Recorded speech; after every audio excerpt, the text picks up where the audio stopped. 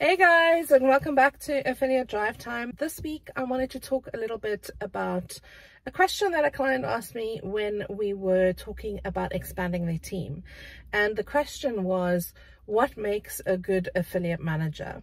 Now, I've only got two minutes to tell you my thoughts on this subject, but I think managers need to have a natural aptitude for doing this role. So when you become a program manager, your biggest strength is the ability to build successful relationships.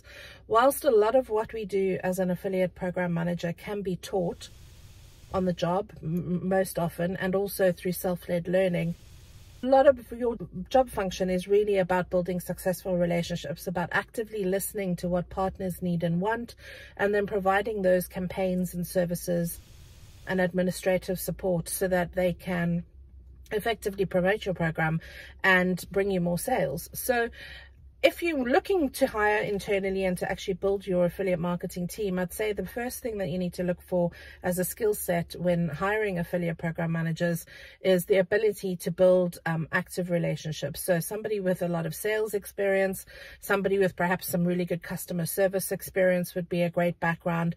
But all of the other technical things can be taught on the job. And we actually have a, a really good training program, a 12 week training program called AMP, which is Affiliate Management Performance program for those that want to know what the acronym is. And we teach some of these technical skills on that course because a lot of people come into this industry with raw skills that they transition in from either a customer support or sales. Sometimes people come in from agency backgrounds or even media buying backgrounds. So affiliate program managers are really a rare fish. They learn on the job. They acquire skills through doing, through practically implementing campaigns and working with partners. So it's important that they have really good raw skills. If you want to check out if you've got the right skills for um, being an affiliate manager, I've got a really fun little quiz that's going to be attached to this week's drive time, which you're welcome to take to see what kind of affiliate manager you would be.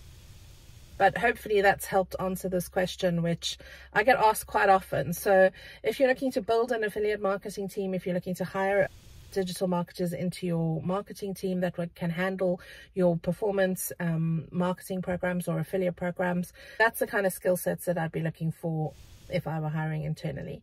Hope this has helped and thanks very much for watching Affiliate Drive Time with me, Lee-Ann Johnstone, CEO and founder of Affiliate Insider.